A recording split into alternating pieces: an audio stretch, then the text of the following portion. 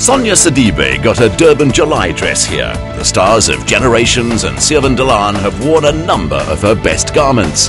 And then again, when Thandi Masondo wears them herself, she's probably her own best advert for her fashion studio collections. This is just the perfect closet for any girl. You know what's nice about it is that when you walk in, you look at around and you say, if I need a cocktail dress, I've got it. I'm attending a wedding and I need a dress, I've got it. So yeah, it is the perfect closet. And what advice would you have for any girl that stepped into fashion studio collection and said, Thandi, make me look gorgeous? You've always got to be different, got to be comfortable, got to look fabulous. You must feel the dress. When you walk out of a store, it mustn't just be sold to you. You must just feel that I bought the right garment. Thandi is so close to each item she sells as she's the one who does all the boutique's buying. Any day of the week, you might find First Lady Thobeka Zuma or Three Talks No Lean shopping here. On the day we visited, it was entrepreneur Zama Ngubani who's engaged to spin doctor Zizi Kodwa. I'm very excited. The dress is stunning, as you can see. Um, it's more of a princess dress, which is, I think, I deserve to be a princess for a day. We wondered if Thandi lives a little vicariously through all these creations. Secretly. look, um, when you look at a bride putting on a gown, it's like a fairy tale, you know. And I think that fairy tale lives in all of us, where we we just want to see ourselves looking pure, looking angelic, looking, you know. And you you just want to do your wedding all over again, yeah. So I do. And what kind of lady would want to wear a bridal affair dress? The woman that has got class style, that's sophisticated, that's got allure, somebody who really wants to find out things in life. That's the woman that I'm talking to. So Zama, you definitely must be that girl. Definitely. Thandi doesn't decree what you should wear. If her yoga classes have trained her mind towards anything, it's how to arrive at the perfect solution with her clients. I'm a bit biased to this dress. It is exquisite on you. Absolutely. Yes, I love it. It fits well, it's beautiful, it's lighter, and I'm more comfortable on it, than the first one. It looks better on her because there's not a lot of fabric. She's a bit small in frame, but it shows off her body very nicely. Thandi, do you design the dresses yourself? No, I actually don't design the dresses myself at all. I import. I've actually just signed up a partnership with a guy from Turkey. His collection is called Kenka Couture, but I do a lot of other designers as well. However, if you've got your own uh, design that you'd like us to make for you, we can have it made for you. Her aim is to increase her locally produced pieces to at least half of her range, which will require more turnover.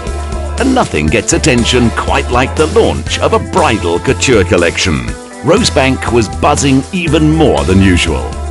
Thandi, it's one thing having to prepare for an event, but being the host must be quite stressful.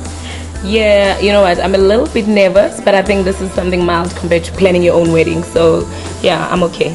What are you hoping people will take away from tonight? Look, tonight is about me, really. It's about proving to myself that nothing is impossible. I think people, more than anything else, they'll walk away with the fact that it was fabulous. They saw beautiful dresses and stuff. But for me, I'll get a lot of contentness from it. It was quite an opening, and the fashion was every bit the equal of its trumpeting.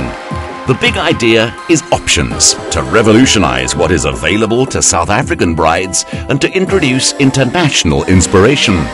Helping to get the message across were a serious A team of celebrity models, from presenter Pabi Moloi and Miss Earth SA Nondi Zingwa to actress Lerato Moloi, who's about to tie the knot with Colin Mashawane. I loved the dress that Pabi Moloi wore, the one that has the diamantes and the pearls. Oh my gosh, drop dead gorgeous. I love this dress that I'm wearing. I love the dress that Matapa is wearing. So it might be one of those three or two of those three.